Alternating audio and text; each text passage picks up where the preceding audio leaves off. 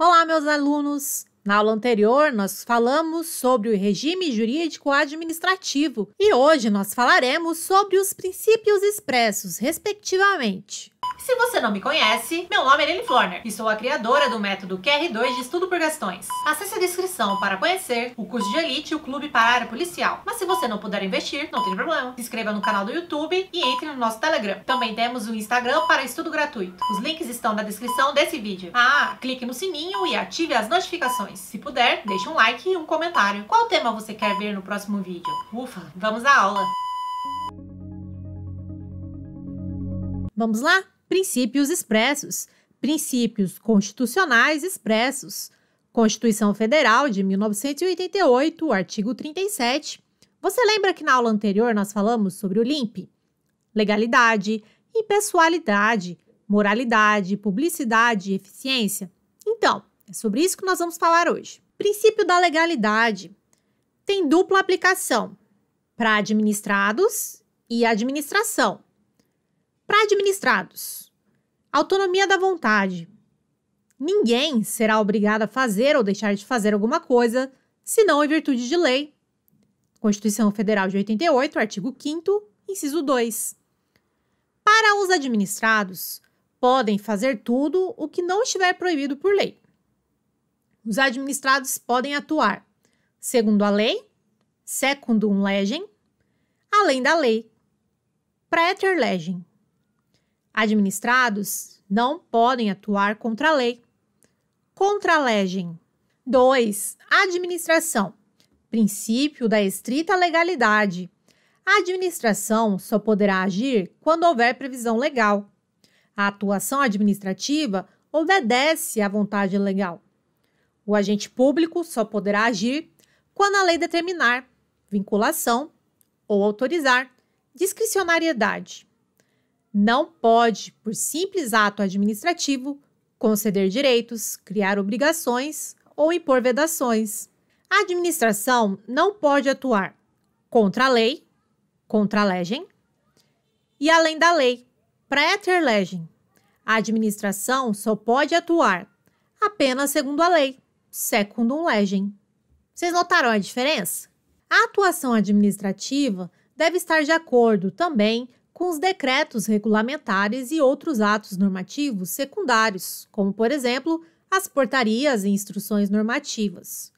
Vamos aprofundar um pouquinho. O princípio da legalidade é diferente do princípio da reserva legal. Princípio da reserva legal.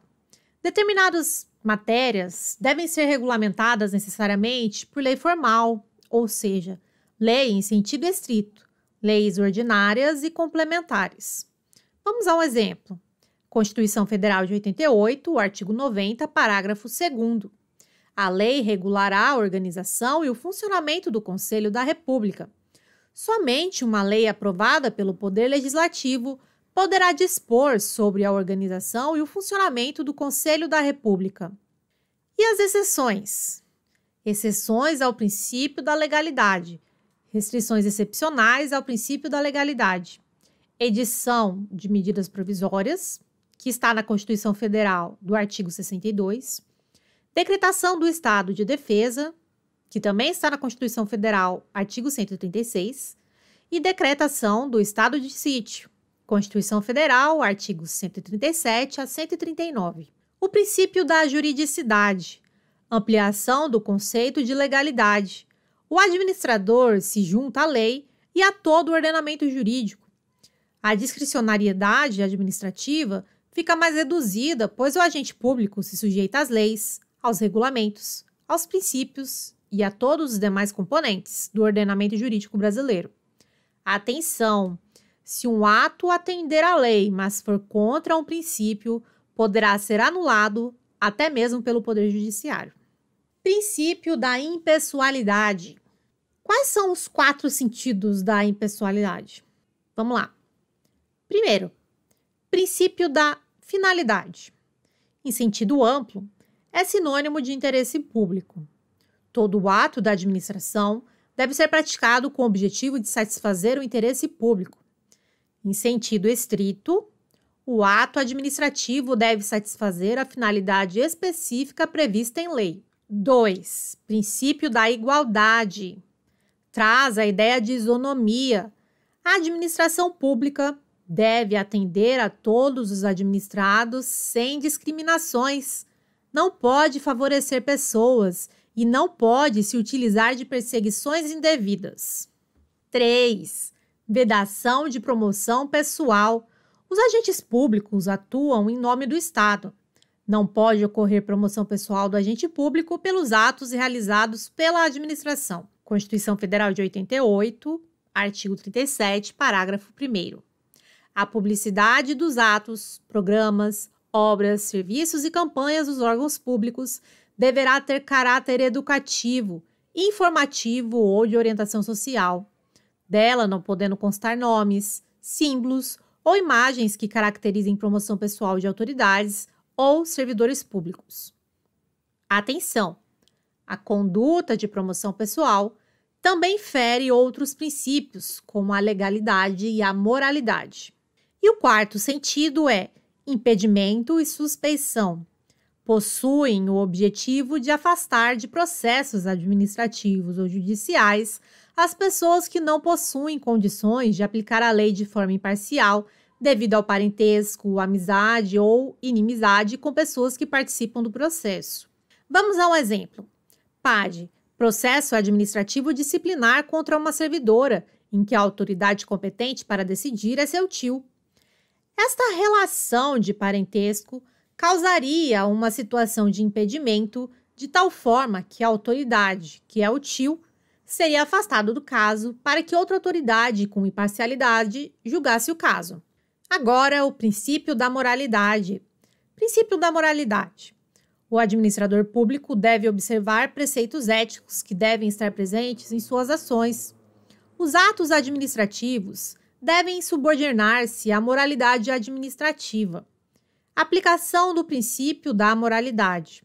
Relações entre a administração e os administrados nas atividades internas da administração. Atenção! Para ferir o princípio da moralidade, não deve ser analisada a intenção do agente público. Assim, um ato pode ser imoral, ainda que o agente não tivesse a intenção de cometer a imoralidade. Por exemplo, servidor público nomeia um parente para ocupar um cargo em comissão, mas o servidor acredita que seu ato não viola a moralidade, quando na verdade há violação da moralidade no exemplo citado. O Supremo Tribunal Federal, STF, fez uma vedação do nepotismo na administração pública.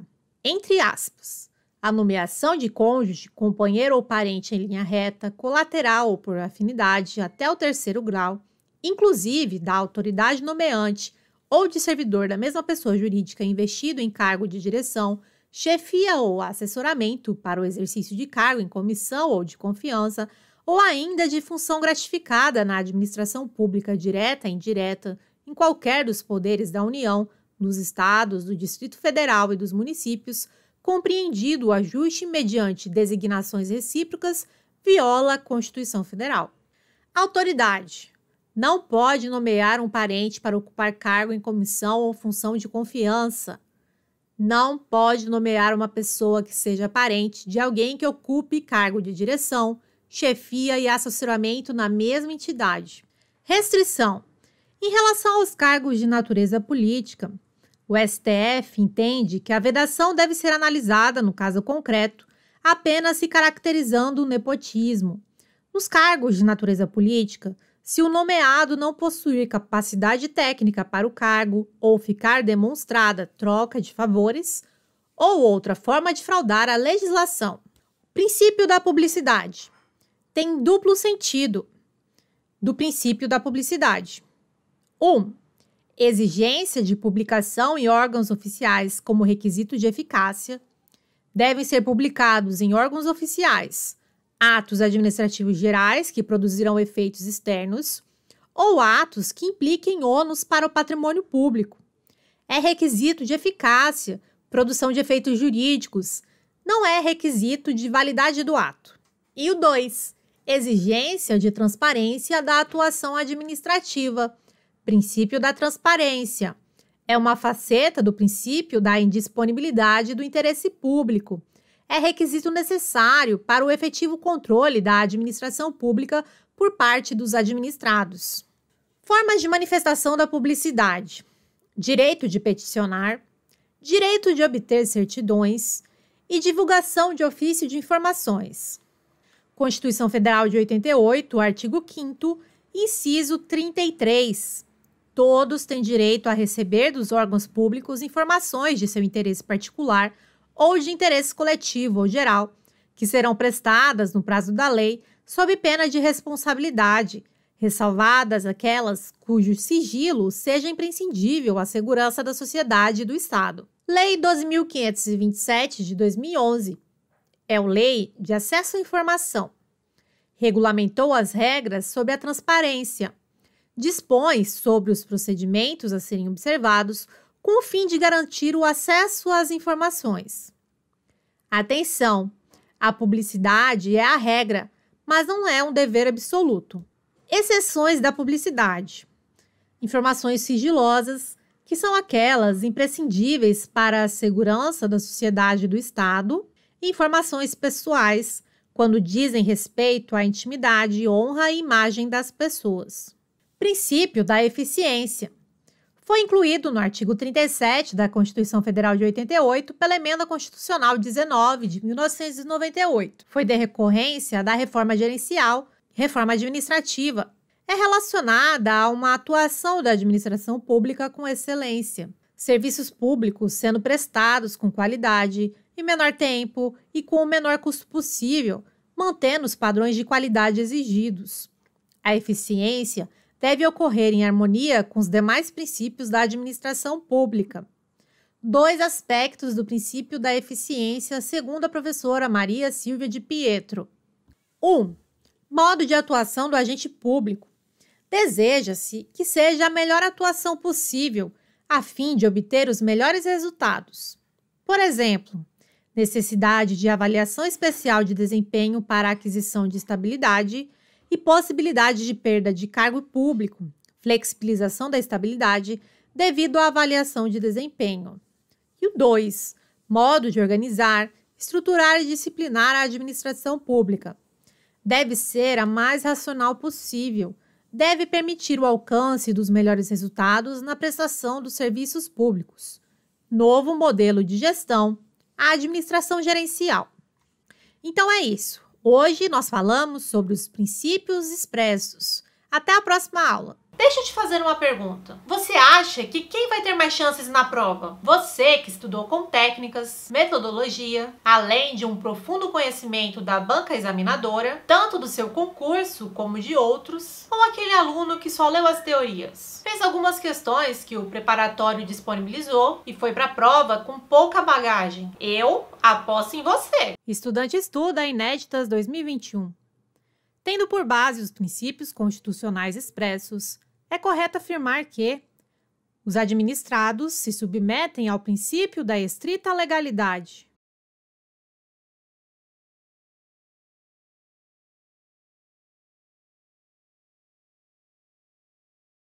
E tem errado. Quem se submete ao princípio da estrita legalidade é a administração pública. Administrados se submetem à autonomia da vontade, podem fazer tudo o que não estiver proibido por lei Administrados podem atuar segundo a lei, além da lei. Não podem atuar contra a lei. Estudante estuda, inéditas 2021. Tendo por base os princípios constitucionais expressos, é correto afirmar que o agente público só poderá agir quando a lei determinar ou autorizar, não podendo, por simples ato administrativo, conceder direitos, criar obrigações ou impor vedações.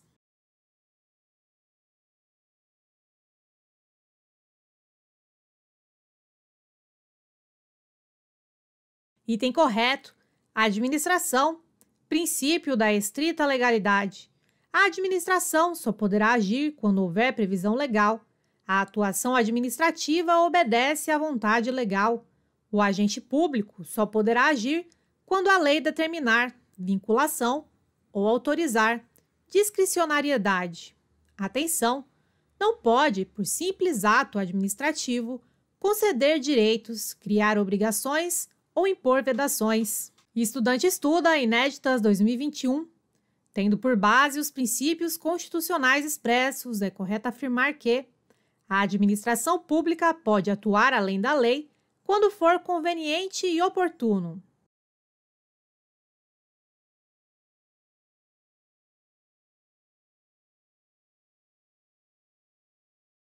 Item errado. A administração não pode atuar contra a lei, além da lei. A administração pode atuar apenas segundo a lei. Estudante estuda Inéditas 2021. Constituição Federal de 1988, artigo 90, parágrafo 2 A lei regulará a organização e o funcionamento do Conselho da República. Esse artigo é um exemplo da aplicação do princípio da reserva legal.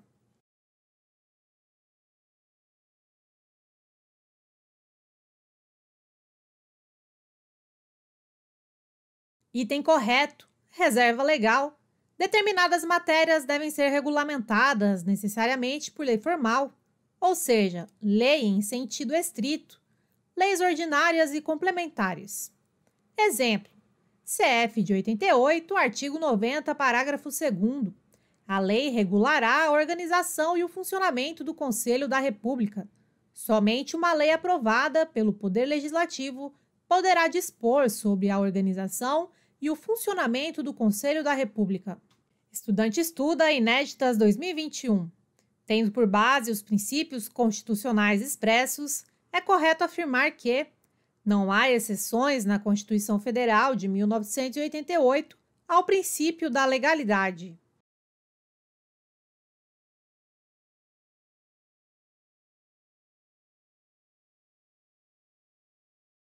Item errado segundo a melhor doutrina, exceções ao princípio da legalidade é igual restrições excepcionais ao princípio da legalidade, edição de medidas provisórias, decretação do estado de defesa, decretação do estado de sítio. Estudante estuda Inéditas 2021. Tendo por base os princípios constitucionais, é correto afirmar que o princípio da juridicidade pode ser considerado uma ampliação do conceito de legalidade, pois o administrador não se sujeita somente à lei, mas a todo o ordenamento jurídico.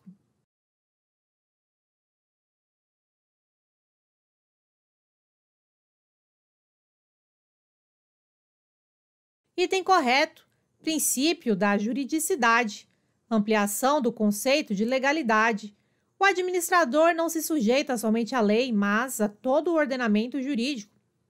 A discricionariedade administrativa fica mais reduzida, pois o agente público se sujeita às leis, aos regulamentos, aos princípios e a todos os demais componentes do ordenamento jurídico brasileiro. Atenção! Se um ato atender à lei, mas for contra um princípio, poderá ele ser anulado até mesmo pelo Poder Judiciário. Estudante estuda Inéditas 2021. Com relação ao princípio da impessoalidade, é correto afirmar que uma de suas facetas, o princípio da finalidade, em seu sentido estrito, diz que todo ato da administração deve ser praticado com o objetivo de satisfazer o interesse público.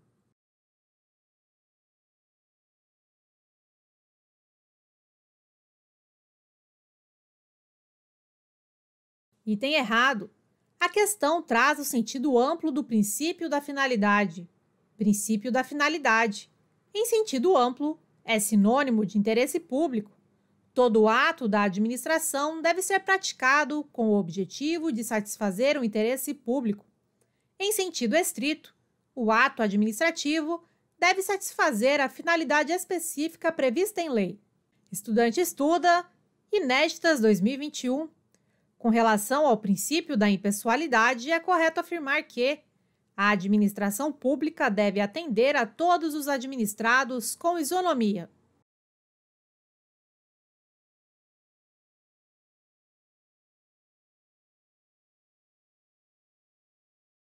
Item correto.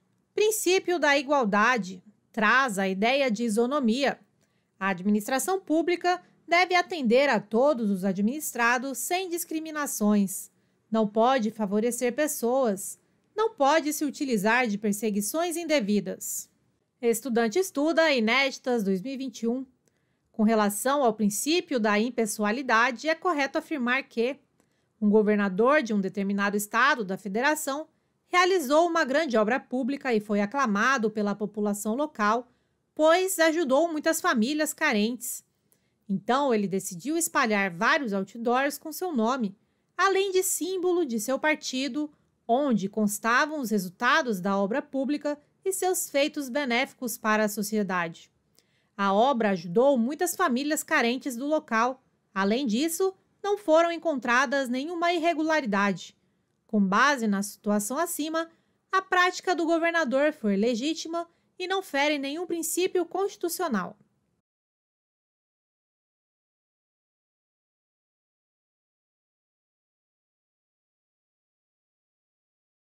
Item errado: vedação de promoção pessoal. Os agentes públicos atuam em nome do Estado. Não pode ocorrer promoção pessoal do agente público pelos atos realizados pela administração. CF 88, artigo 37, parágrafo 1. A publicidade dos atos, programas, obras, serviços e campanhas dos órgãos públicos deverá ter caráter educativo, informativo ou de orientação social. Dela não podendo constar nomes, símbolos ou imagens que caracterizem promoção pessoal de autoridades ou servidores públicos. Atenção! A conduta de promoção pessoal também fere outros princípios, como a legalidade e a moralidade. Estudante estuda Inéditas 2021. O administrador público deve observar preceitos éticos que devem estar presentes em suas ações.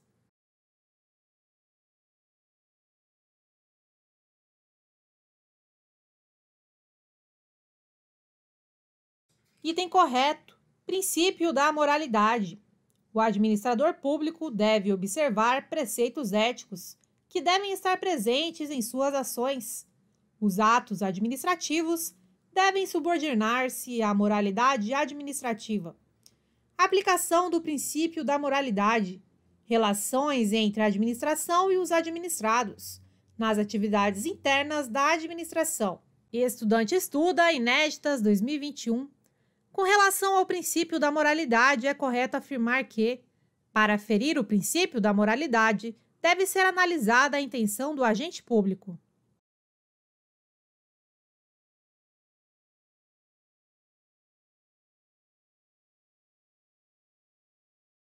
Item errado. Para ferir o princípio da moralidade, não deve ser analisada a intenção do agente público. Assim, um ato pode ser imoral ainda que o agente não tivesse a intenção de cometer a imoralidade. Exemplo: servidor público nomeia um parente para ocupar um cargo em comissão, mas o servidor acredita que seu ato não viola a moralidade, quando na verdade há violação da moralidade no exemplo citado. Estudante estuda Inéditas 2021. Com relação ao princípio da moralidade, é correto afirmar que o STF, com a edição recente da súmula vinculante 13, permitiu que haja nepotismo, caso seja benéfico ao interesse da sociedade.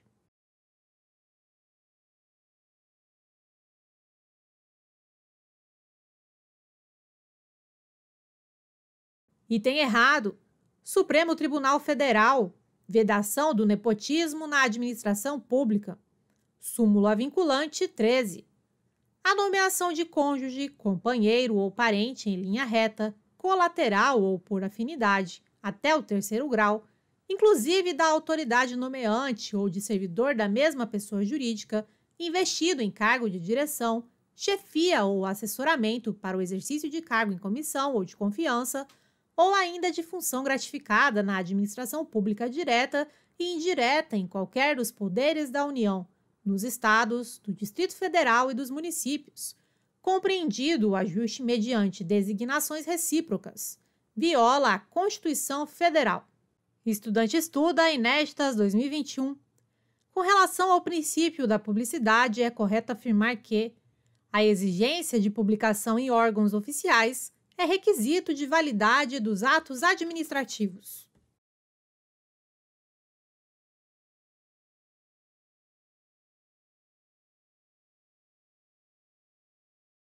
Item errado. Exigências de publicação em órgãos oficiais é igual requisito de eficácia. Devem ser publicados em órgãos oficiais atos administrativos gerais que produzirão efeitos externos ou atos que impliquem ônus para o patrimônio público. É requisito de eficácia, produção de efeitos jurídicos, não é requisito de validade do ato. Estudante estuda Inéditas 2021. Com relação ao princípio da publicidade, é correto afirmar que o direito de peticionar e o direito de obter certidões são manifestações do princípio da publicidade.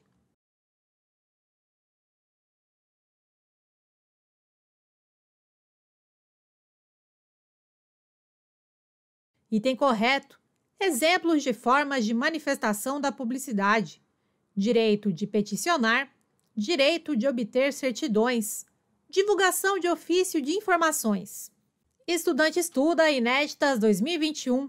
Com relação ao princípio da publicidade, é correto afirmar que o princípio da transparência é um dos sentidos do princípio da publicidade, pois é um requisito necessário para o efetivo controle da administração pública por parte dos administrados.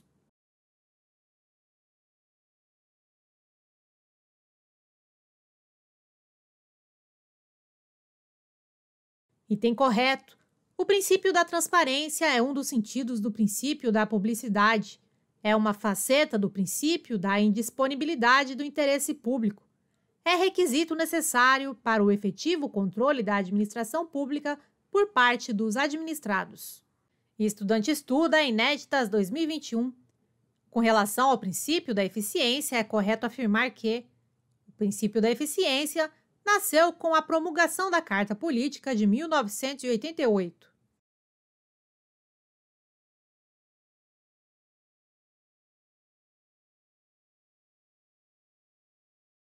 E tem errado. Princípio da eficiência foi incluído no artigo 37 da Constituição Federal de 88 pela Emenda Constitucional 19 de 1998. Foi decorrência da reforma gerencial, reforma administrativa, é relacionada a uma atuação da administração pública com excelência, serviços públicos sendo prestados com qualidade em menor tempo e com o menor custo possível, mantendo os padrões de qualidade exigidos. A eficiência deve ocorrer em harmonia com os demais princípios da administração pública. Estudante estuda Inéditas 2021. Com relação ao princípio da eficiência, é correto afirmar que o agente público estável não perderá, em nenhuma hipótese, seu cargo devido à avaliação de desempenho.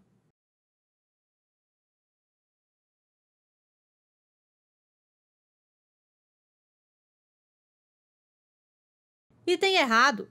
Segundo a professora Maria Silvia de Pietro, é reflexo do princípio da eficiência a possibilidade de perda de cargo público, flexibilização da estabilidade devido à avaliação de desempenho, facetas da eficiência, modo de atuação do agente público. Deseja-se que seja a melhor atuação possível a fim de obter os melhores resultados. Exemplos: necessidade de avaliação especial de desempenho para aquisição de estabilidade, possibilidade de perda de cargo público, flexibilização da estabilidade devido à avaliação de desempenho. Estudante estuda Inéditas 2021. Com relação ao princípio da eficiência, é correto afirmar que o modo de organizar, estruturar e disciplinar a administração pública deve ser a mais racional possível, permitindo o alcance dos melhores resultados na prestação dos serviços públicos.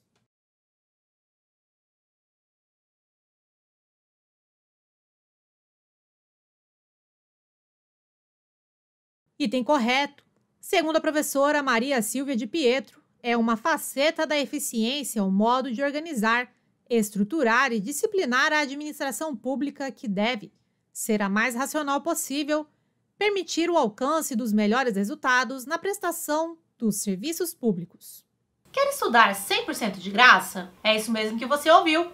E você não vai pagar nada. Basta entrar no nosso Telegram. Lá serão postadas questões dos temas base para a área policial. Na segunda-feira, língua portuguesa, direito constitucional na terça-feira, administrativo na quarta, direito penal na quinta e na sexta-feira, direito processual penal. Se inscreva no nosso canal e clique no sininho para receber as notificações. Deixe um like e um comentário sobre as questões, você vai nos ajudar muito.